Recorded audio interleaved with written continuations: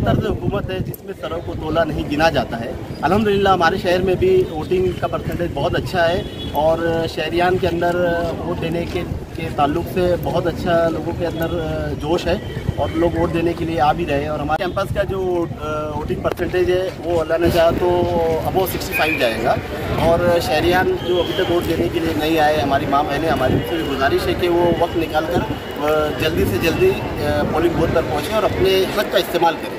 यही वक्त है अपने हक का इस्तेमाल करने का।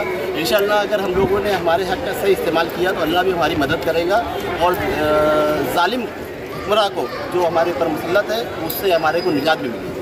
अलहमदिल्ला ये उसी के असरात है कि जो इतना अच्छा परसेंटेज आ रहा है, लोग इतनी ज़्यादा तादाद में यहाँ पर है। आप देखिए, हर पोलिंग बूथ के ऊपर लाइन लगी हुई है। हमारी माँ बहनें खास करके वक्त निकाल कर यहाँ पर आ रही है। और पोलिंग बूथ के ऊपर उतना रश भी है। और लोगों के अंदर अवेयरनेस है, ये कहाँ से आए कहीं ना कहीं जो अदारे जो पार्टीज़ के वर्कर्स जो काम कर रहे हैं जो पार्टीज़ के ज़िम्मेदारान जो काम कर रहे हैं ये उसी के नतीजा है कि इतने लोग यहाँ पर मौजूद हैं। एक बड़ी तादाद में वोट लोगों की कटी है नाराज़गी दिख रही है। इस ताल्लुक से क्या कहेंगे आप? देखिए वोट जो कटी है वो तो कहीं ना कहीं कुछ ना कुछ प्रॉब्लम्स आती रहती है।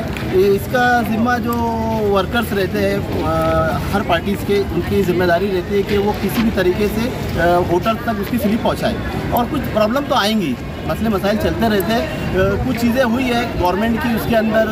अब क्या बोले? आप लोगों को हमसे ज़्यादा अच्छे से समझता है गवर्नमेंट क्या करती है, कैसे करती है।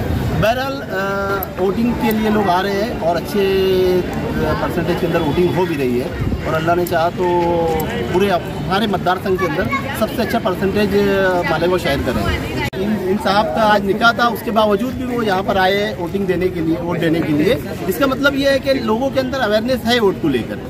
ये बहुत अच्छे मैं काबिल मुबारकबाद है ये हमारा भाई कि जो आज निकाह के बाद भी उसकी मसूफियत से वक्त निकाल कर वोट डालने के लिए ऐसी तमाम लोगों से गुजारिश है कि वक्त निकालें और अपने हक का इस्तेमाल करें।